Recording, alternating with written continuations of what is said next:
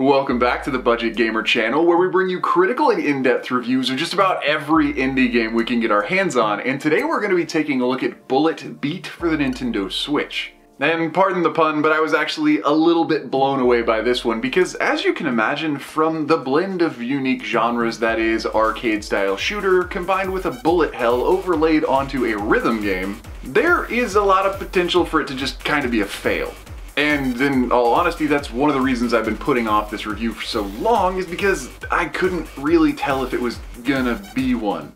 But as I am happy to report, I actually had a pretty great time with it. Now, as a classic arcade style shooter in its most fundamental state of the genre, there's absolutely no story. Because in all honesty, we don't really need one. And so while I would like to assume that I am some champion of justice defeating some evil alien horde, well, there's really no way to tell for sure and I could probably be the bad guy. Which on its own level makes it almost a little bit cooler. But getting into the actual mechanics, the entirety of Bullet Beat is divided across 8 levels, with the 8th level actually being subdivided into a three-part boss rush. And also in line with the genre of the classic arcade shooter, there's really nothing more you have to be responsible for other than moving and shooting. And that's pretty much it. You just move and shoot, man. You move and shoot. That is until you pick up some randomly dropped upgrades, because then you start moving and shooting like a god. But unlike in some other shooter games that you may have played, these power-ups don't last for eternity. They actually only last for about 45 seconds or so, and so you'll need to move and shoot as effectively as possible, blasting every enemy you can get to get as many random drop power-ups as you can. And of course, at the crescendo of every single level, there will be a boss fight. But as most of the pixel work in the game, if you can really call it pixel work, renders every single boss as kind of just a blob. And so sometimes figuring out what their weak spots are, if there are any to be had, can take a little bit of trial and error and a little bit of player intuition. And so if you are like me and you do enjoy the genre, but some of the bullet hell style elements really push you to your limits, thankfully there are multiple modes of difficulty. And I do have to admit there were a small amount of levels that I did have to play like a flippin' casual in casual mode, because in all honesty, Bullet Beat is actually a really challenging little game. But before you go thinking that playing in any other mode besides hard is just a walk in the park, really the reduction in difficulty only comes in the form of giving you a little bit additional health, as well as increasing the rate at which random power-ups drop. And so even comparing casual mode to hard mode, there is no reduction in enemies. The bosses aren't really easier to beat. You can just sponge up a little bit more damage and maybe become a little bit more OP a little bit faster. Which I have to say was actually pretty gratifying.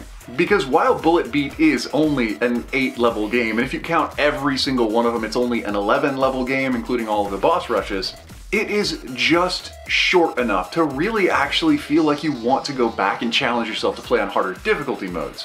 Which I did, and it was fun. Did I beat the game on hard mode? No, I did not.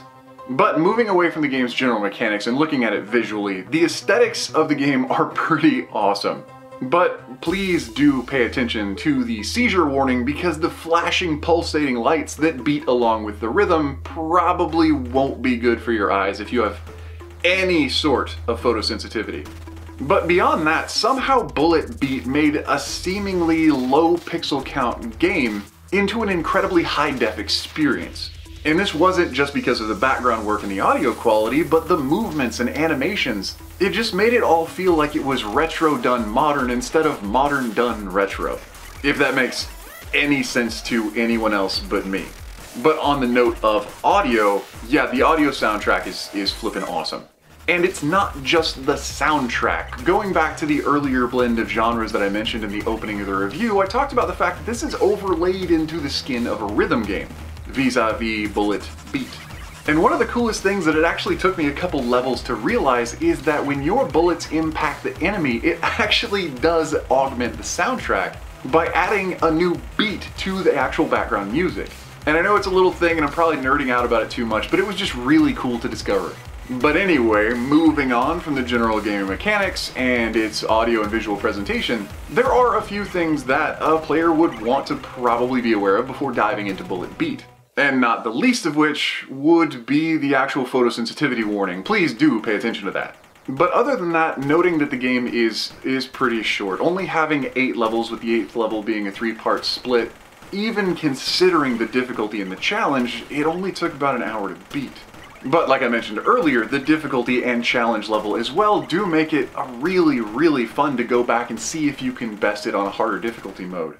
But the next and possibly final critique for the game is again in its genre. Bullet Beat is being sold as a rhythm game, and if you are a fan of rhythm games and you're looking at the video footage over my shoulder, you're probably wondering how exactly does the rhythm fit in? You're not clicking your ship through various lanes, you don't have to fire at certain intervals. The enemies don't come down the screen like notes in Guitar Hero. And so in that sense, the rhythm element of Bullet Beat is pretty much only concerned with the soundtrack.